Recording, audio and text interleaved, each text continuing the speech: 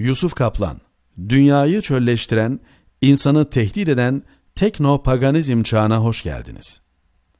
Din yok olmadı, metamorfoz geçirdi.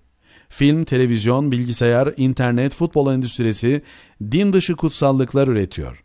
Yeni ikonlar ve ikonalar cirit atıyor her yerde.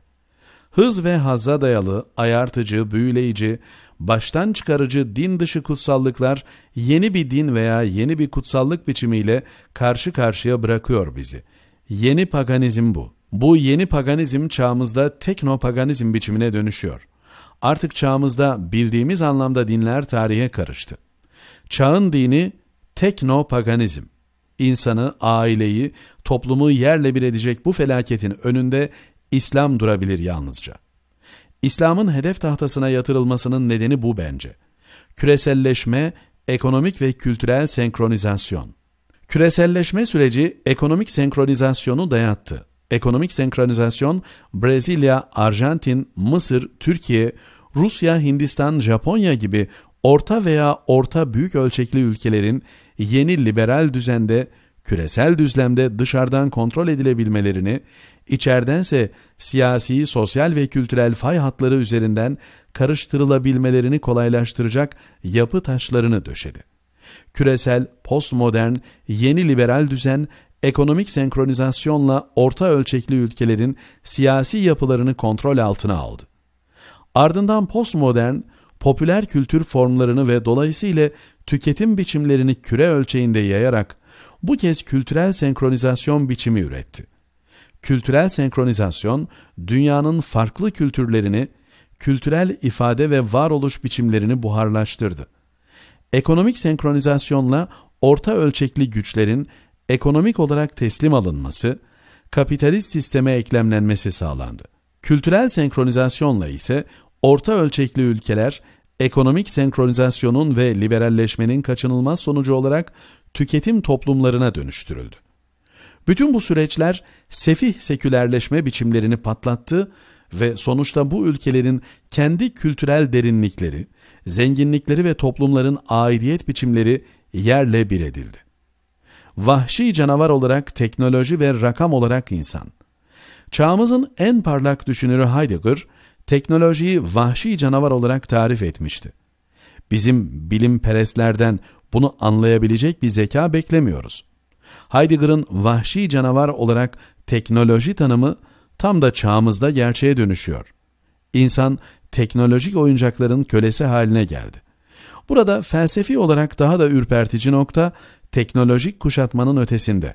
İnsanın düşünme melekelerini yitirmesi, hız, haz ve ayartı üzerinden duygularının kölesine dönüşmesi. Bilgi çağı çoktan tarih oldu. Veri bilgi değil. Veri duygularımızı harekete geçirecek, düşünme yetilerimizi dinamitleyen bir bomba artık. Dahası verinin de ötesine geçmiş durumdayız. Hepimiz birer dijitiz, rakamız. Dijital dünyanın kralı robotlar artık. İnsan tahtını yitireli çok oldu. Duygusuz, ruhsuz robotlar hayatımızı robotlaştıracaklar. Teknopaganizm felaketi. Hayatımız teknolojinin etrafında dönüyor. Teknoloji ayartıcı, sahte bir tanrısal güce ulaştı. Ayartıcı ve baştan çıkarıcı. Tanrı fikrini, hakikat fikrini yok eden, insanlığı izafileşmenin, nihilizmin eşiğine sürükleyen, baş döndürücü bir hızla gelişen teknolojik aygıtlarla insanı teknolojinin kölesine dönüştüren ve nihayetinde insanı da yok eden, bütün kültürel aidiyet biçimlerini buharlaştıran aileyi yerinden eden ruhsuz bir dünyanın ayartıcı, baştan çıkarıcı, hız ve hazla uyuşturucu yeni dini teknopaganizm artık. Tam 15 yıl önce bu sütunda insanlığı bekleyen tehlike olarak teknopaganizm tehlikesini yazmıştım seri olarak. Şimdi 15 yıl önce teorik olarak yaptığım gözlemlerin kısa bir süre içinde gerçeğe dönüştüğünü görmek beni ürkütüyor.'' teknopaganizm felaketinin önünde sadece İslam durabilir. Bunu çok iyi biliyor bu düzenin kurucuları ve o yüzden terörizm filan gibi bahanelerle İslam'a ölümcül bir darbe vurmaya çalışıyorlar.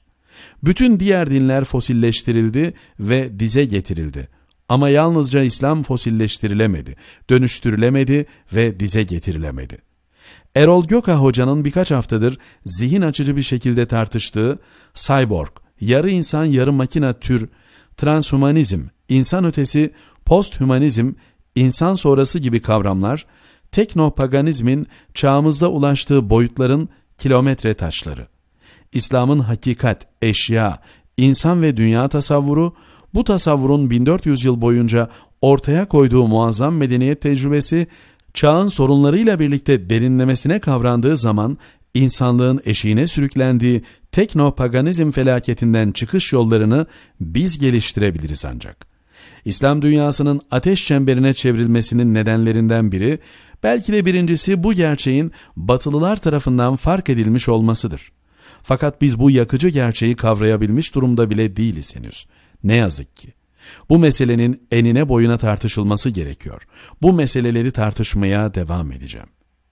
Yusuf Kaplan, Yeni Şafak